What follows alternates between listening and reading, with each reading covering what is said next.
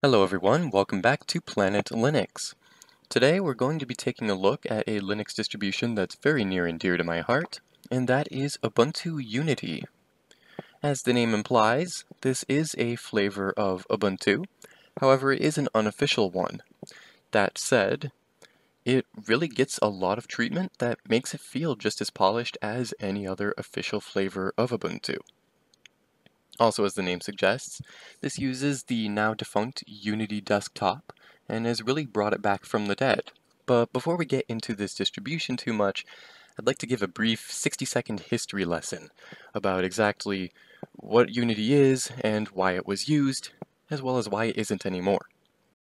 From the time that Ubuntu was first created in 2004 through about 2010, they used the GNOME desktop, version 2 at the time and this served users very well. It was a great user experience overall.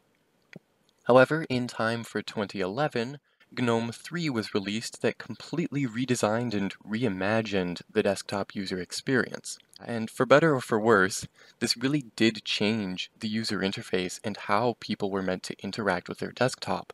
And Canonical, the company that makes Ubuntu, felt that this was just too drastic and went against the philosophy of a lot of the user interface and design that they had been trying to build. So, for the 2011 release of Ubuntu, they created their own desktop environment called Unity. This aimed to retain some of the design elements from the GNOME 2 days, but also continue to develop their own set of features that they felt users would appreciate. That said, the initial versions of Unity did not get such great reception. Uh, they were plagued with bugs, slow performance, an overall lack of polish that really took away from the user experience that people had come to know with Ubuntu. However, as the years went on, this did get markedly better. That said, by 2017, Canonical had really tried to expand their scope of development with the Unity desktop so much they were trying to create a phone version of it that could connect your computer to your phone, all running the same operating system. Uh, they really expanded their focus so broadly that they eventually felt they just couldn't keep up with the pace of development and decided that by this point, GNOME 3 was at a point that it would be suitable to use with Ubuntu. So in 2017, they decided to ditch the Unity project altogether and switch over to GNOME 3 as the desktop environment for future versions of Ubuntu, which is what they're still using today. That said, especially around the year 2014, Unity hit this point where it had seen continuous improvement, many of the bugs were fixed, the performance was improved, and by this time, it had really become a stable and feature-rich desktop environment. A lot of the people that had mixed opinions about it in the beginning had really begun to love it, and even many of the people that hated it from the get-go uh, were starting to warm up to it. Whether you were a fan of it or not, it could not be denied around 2014-2015 that Ubuntu with the Unity desktop was an incredibly stable and user-friendly experience that offered a lot of great features that many other desktop environments just didn't. And I think that's where the nostalgia and the appeal of this distribution, Ubuntu Unity, comes from. It's a revival of this dead desktop environment that many people feel by the time it got good should not have been killed off because it had so many things that made it great. And that's really where I want to start in today's review. I want to look at some of the features that make the Unity desktop so good. And we'll start right here on the desktop. We'll start with the dash. You'd access it either with this top button here, or by pressing the super key. And this looks pretty typical to a lot of your full screen launchers. It shows all your recent applications and files here on the main screen. However, the features of the dash really go well above and beyond what you'd expect. Along the bottom here, you have your different lenses, which allow you to view your different types of content. Obviously here you have applications, which is pretty self-explanatory. You can view your recent apps or all of them in a list. But you also have lenses for documents, as well as some frequent folder locations on your system, uh, videos, music, and pictures, none of which I really have on here right now. But the appeal to this was that if you had files of a specific type that you accessed regularly, such as there was always a certain song you liked to listen to. Instead of having to go into the music app and find that song, you could just open up the dash from anywhere, click on the music lens, and your most frequent music would be right here. Now, this also had a powerful search functionality that allowed you to search for all these different files uh, directly from here. So not only would it search for your apps or settings or documents, but you know any type of file or location on the system.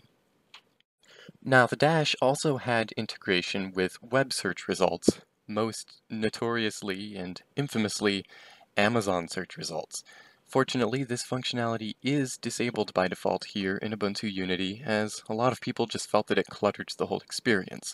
But if you're looking to mess around with getting some web results in here as well, that is a feature that can be enabled. The next feature that I really love about Unity is just how well it makes use of screen space. When you have applications open, the menu bar by default appears in the top panel here instead of being an extra toolbar in the window. While this may not seem like a huge change, other than one more thing to get used to, it actually really helps to save screen space. Having the menu bar move to this top panel that would otherwise be mostly empty really does help to free up more space in the window for the main content. This is especially noticeable when you maximize the window. Not only can it get rid of the menu bar, but it can also move the whole window title bar and controls into the top panel. Having your close, minimize, and maximize buttons, as well as the menu bar up here, frees up a lot of space for most of your screen to be just the content of the window itself. And if you choose to auto-hide this sidebar, you get even more screen real estate. Now talk of the menu bar brings me into the last big feature that I really appreciate about Unity, and that is the HUD, or the heads-up display. We'll use LibreOffice as a good example of this, but the heads-up display allows you to search an application's menu bars just by typing what you're looking for. So LibreOffice is a really good example of a program that has a ton of options, uh, some of which are in these toolbars, but many of which are tucked away in their various menus. And there's a lot of things in here, and it can be very difficult to remember where everything is at. Fortunately, Unity has the HUD that allows you to simply press the Alt key to bring up this search box that allows you to type the option you're looking for, and it will search through all of the program's menus to find it. For example, if we can't remember where to go to put page numbers in our document, we can press the Alt key here and type page number. And right here it has the option to insert page number. And we can just click or press enter on this to do so. This works for any option that's in any of the menu bars. So the same thing could work if we want to make some of our fonts superscript. For example, we could write out some text. If we select some of that, and we want to make this word superscript, we can just press Alt, type our search result, press Enter,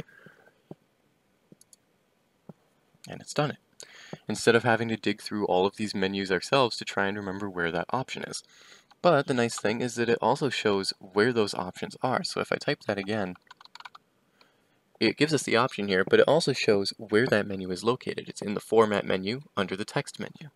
So it gives you an idea of where it is for future reference as well. While all of these are specific features of Unity itself, uh, Ubuntu Unity as a distribution has done a great job of bringing all of these features in and keeping the underlying system very stable, while at the same time modernizing a lot of aspects. Of course, as you can see, this is using the current modern Ubuntu themes, slightly modified for this distro. But it does a great job of bringing in the previous desktop environment up into the modern age in line with all of your other Ubuntu flavors. That said, there are just a couple quirks, uh, small little things that do take away from the experience a little bit, and while I don't think they should be deal breakers for anyone, I do feel the need to discuss them. First of all, if we take a look at system settings here, this has pretty much everything you'd need. Uh, they've done a great job of combining most of the system settings all into this one place and making sure they all work well. Uh, this is a surprisingly difficult task when you're trying to bring an older deprecated desktop environment onto a current distribution platform. Uh, making sure that all of these settings work as intended uh, and are all in one place is quite difficult. But they've done a pretty good job here. Pretty much everything you need to adjust on the system is in here.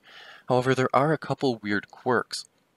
Uh, first off, with themes, if you go into Appearance, where you can change your background, uh, this purple one was a default, by the way, but it seemed a little bright for the whole video. Uh, you'll notice this box here, and if you go in here, you have a list of some themes. However, this isn't actually showing all of the themes installed on the system. Uh, this is only showing the themes that were originally built into Unity back in the day when it was officially used with Ubuntu. Uh, for example, this radiance, or this ambience theme rather, was the default theme in Ubuntu through 2017, I believe. And the problem is, if you ever select one of these, there's no way to get back to the theme you were using.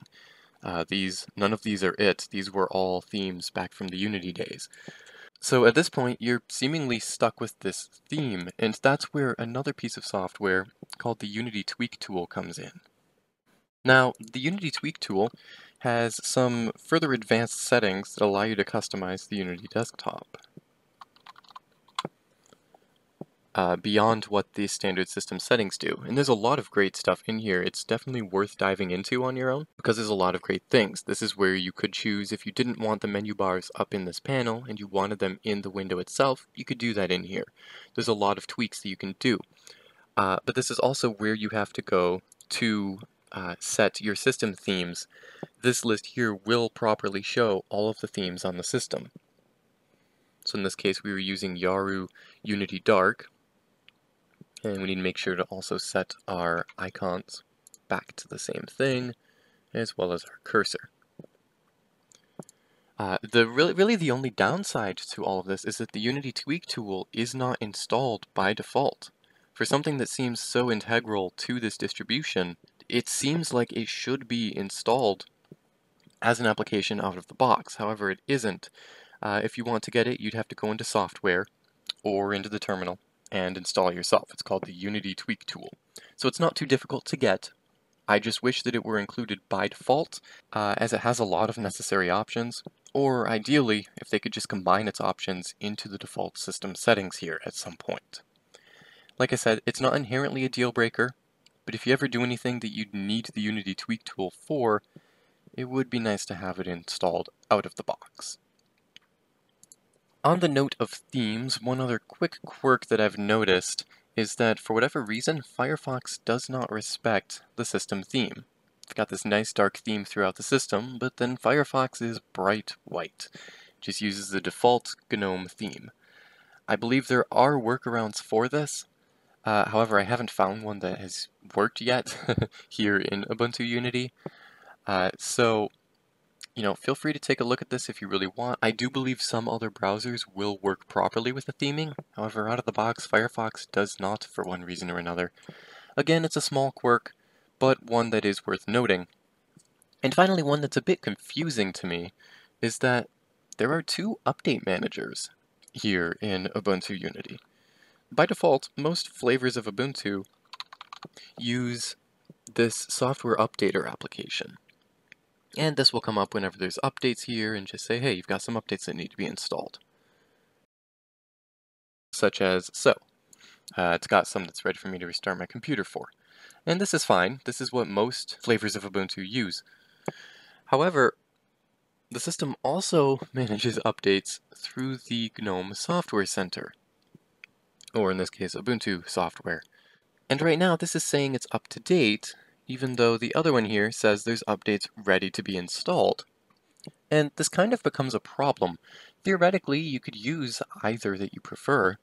Uh, however, they both have a habit of popping up every once in a while to say, hey, you have updates to install. And they don't necessarily recognize what the other has already done.